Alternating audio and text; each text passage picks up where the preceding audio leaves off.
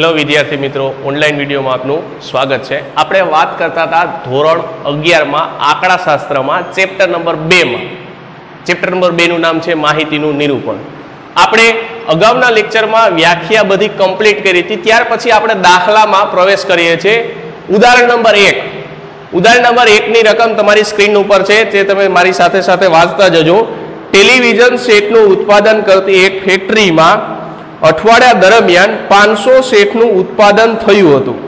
અને તેમાંથી પચાસ ટેલિવિઝન સેટનો એક નિર્દેશ લઈને દરેક ટેલિવિઝન સેટની તપાસ કરતા નીચે પ્રમાણે ખામીની સંખ્યા જોવા મળે છે. આ માહિતી પરથી યોગ્ય આવૃત્તિ વિતરણનું કોષ્ટક તૈયાર કરો. એટલે કે એક પચાસ ટેલિવિઝન એક હતા, પચાસ ટેલિવિઝન. એની ખામીઓનું અવલોકન તમારે કરવાનું છે. તો તમને ખામીઓના પચાસ અવલોકન બોર્ડ ઉપર દેખાય છે. જીરો ત્રણ બે એક જીરો પાંચ બે ત્રણ. આવા પચાસ અવલોકનો છે. તો આને લગતું તમારે આવૃત્તિ વિતરણનું કોષ્ટક તૈયાર કરવાનું છે. તો તમને કીધું તું ટેલિવિઝનની ખામીનું. એટલે પેલું ખાનું લખ્યું છે, ટેલિવિઝન સેટ દીઠ ખામીની સંખ્યા. બીજું છે આવૃત્તિ ચિહ્ન અને ત્રીજું છે આવૃત્તિ. આ વસ્તુ આપણે ધોરણ નવમાં શીખી ગયા છે કે ભાઈ આપણી પાસે પેલા તો ચલ કેટલા છે? ચલ એટલે આમાં સંખ્યા કઈ કઈ દેખાય છે? તો એક તો જીરો દેખાય, પછી એક દેખાય, બે, ત્રણ, ચાર અને પાંચ. આના સિવાયની એ કઈ સંખ્યા છે? તો કે ના. તો ટેલિવિઝન સેટમાં લખો, ઝીરો, એક, બે, ત્રણ, ચાર અને પાંચ. સૌ પ્રથમ જ્યારે દાખલો પૂછે એટલે પેલે પેલું વિસ્તાર ગણી લેવાનું. તો કે વિસ્તાર એટલે કે આપણે ખબર છે, રેન્જ આર સૂત્ર શું હતું તો કે સૌથી મોટું અવલોકન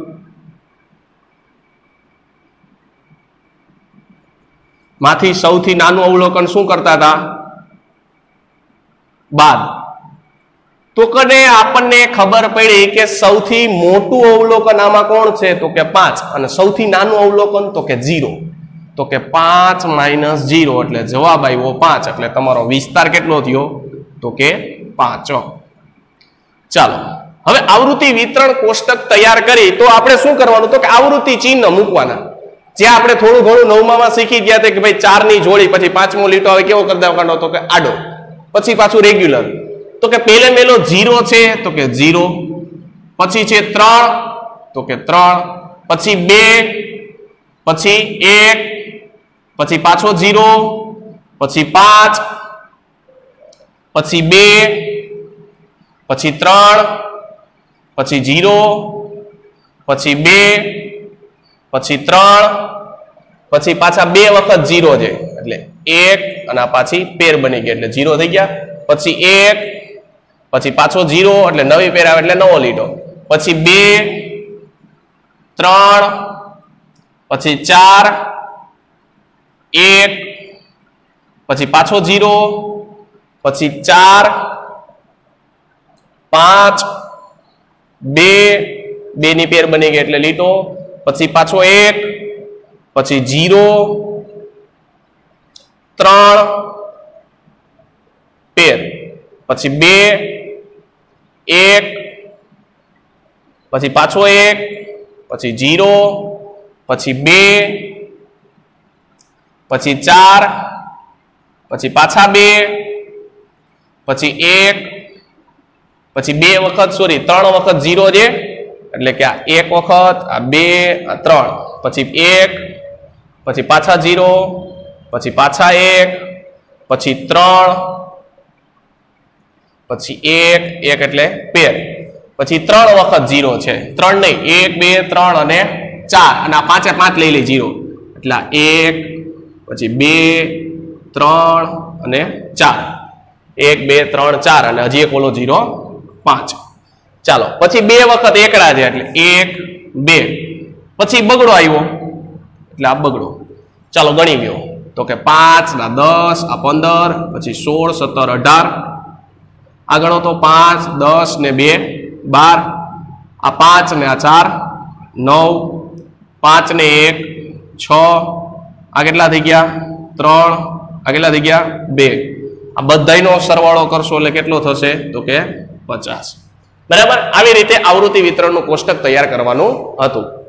ત્યારબાદ છે દાખલા નંબર બે ની રકમ તમારી સ્ક્રીન ઉપર દેખાઈ રહી છે. મારી સાથે સાથે વાંચજો કે એક સુપર મોલમાં ચાર અઠવાડિયા દરમિયાન થયેલા વેચાણના આંકડાઓ હજાર રૂપિયામાં નીચે મુજબ આપેલા છે. બસો અઠ્યાવીસ એકસો પચીસ, સો નેવું, એકસો પંદર, એકસો પચીસ, બસો ત્રીસ, બસો વીસ, એકસો ત્રીસ, પંચ્યાસી, પંચાણું, એકસો સાઠ, એકસો એંસી, બસો બસો એકસો અઠ્યાવીસ એકસો વીસ, પંચ્યાસી, એકસો પંચ્યાસી, એકસો ચાલીસ, બસો પાસઠ, બસો ત્રીસ, એકસો પાંત્રીસ, એકસો સત્યાવીસ, સો, એકસો પિસ્તાલીસ, એકસો પચાસ અને બસો દસ.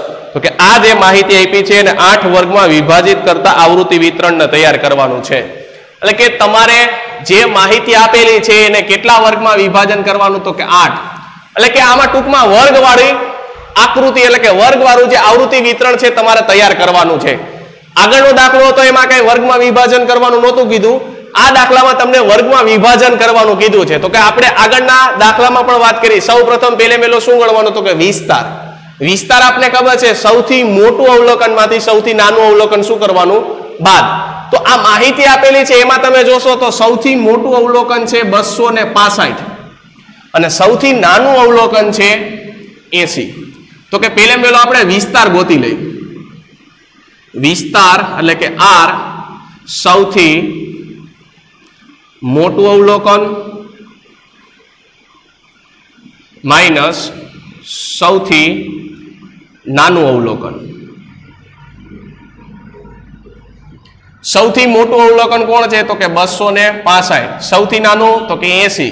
બે ની બાદબાકી કરશો તો જવાબ કેટલો આવશે? એકસો ને પંચ્યાસી. તો કે વિસ્તાર ત્યાર પછી જ્યારે આઠ વર્ગમાં વિભાજન કરવાનું કીધું હોય તો ત્યારે સૂત્ર યાદ રાખજો, કારણ કે વર્ગ લંબાઈ તમારે મેળવવી પડશે. તો વર્ગ લંબાઈનું સૂત્ર છે વર્ગ લંબાઈ, અને આપને ખબર છે દસમા ધોરણમાં આપણે સી અથવા એચ વડે દર્શાવતા હતા. વર્ગ લંબાઈ સી બરાબર વિસ્તાર છેદમાં વર્ગની સંખ્યા. તો કે વિસ્તાર તમને મળ્યો એકસો ને પિંચ્યાસી. અને વર્ગની સંખ્યા વર્ગની સંખ્યા એટલે કેટલા વર્ગમાં વિભાજન કરવાનું? તો કે આઠ. આ બેનો ભાગાકાર કરશો એટલે જવાબ આવશે ત્રેવીસ પોઈન્ટ એકસો પચીસ. પણ આપણે વર્ગ સરળતા ખાતર કેટલો લઈ લેશી? તો કે પચીસ વર્ગ લઈ લેશી. એટલે કે પચીસ વર્ગ લંબાઈ આપણે લઈ લેશી. તો અવલોકન એટલે કે તમને જે માહિતી આપેલી છે, એમાં સૌથી નાનું અવલોકન છે એસી. એટલે આપણે ચાલુ કરશી પિંચોતેરથી બરાબર? પિંચોતેરથી હવે પચીસ નો ગેપ છે, કારણ કે વર્ગ લંબાઈ કેટલી લીધી? પચીસ. તો કે પિંચોતેરમાં તમે પચીસ ઉમેરો એટલે જવાબ કેટલો આવે? સો. પછી સો થી પચીસ ઉમેરો એટલે એકસો પચીસ એકસો પચીસથી દોઢસો દોઢસો થી એકસો પિંચોતેર એકસો પિંચોતેરથી બસો બસો થી બસો પચીસ બસો પચીસથી બસો પચાસ બસો પચાસથી બસો ને પંચોતેર. કારણ કે સૌથી મોટું અવલોકન બસો પાસઠ છે, એટલે બસો પાસઠ આની અંદર આવી જાય. ઓમે ગણી લ્યો કેટલા વર્ગમાં હતું? તો કે આઠ વર્ગમાં ગણી લો જી એક, બે, ત્રણ, ચાર, પાંચ, છ, સાત ને આઠ. બસ હવે જે માહિતી આપેલી છે માહિતીને આવૃત્તિ ચિહ્નમાં ગોઠવી દો પેલે મેલું છે બસો અઠ્યાવીસ. બસો અઠ્યાવીસ ક્યાં આવશે? તો કે બસો પચીસથી બસો પચાસમાં. પછી છે એકસો પચીસ. તો એકસો પચીસ બે વાર છે. જ્યારે આપણે અનિવારક અને નિવારક વર્ગની ચર્ચા કરેલી હતી ત્યારે આપણે કીધું હતું કે જ્યારે બે વાર અવલોકન આવે તો કયા ખાના મૂકવાના? નીચેના ખાનામાં મૂકવાના એટલે કે એકસો પછી છે સો, પછી નેવું, પછી એકસો પછી છે એકસો પછી બસો ત્રીસ, પછી છે બસો વીસ બસો વીસ,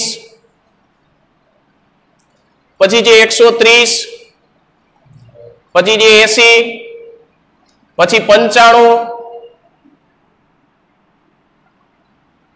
પછી છે એકસો સાઠ, પછી છે એકસો એસી, પછી બસો, પછી છે પાછા બસો, પછી એકસો અઠ્યાવીસ પછી છે એકસો વીસ, પછી પિંચ્યાસી, પછી એકસો પિંચ્યાસી, પછી છે એકસો ચાલીસ પછી બસો પાસઠ, પછી બસો ત્રીસ, એકસો પાંત્રીસ, એકસો સત્યાવીસ, પછી સો, પછી એકસો પિસ્તાલીસ, પછી એકસો પચાસ, બસો ને દસ.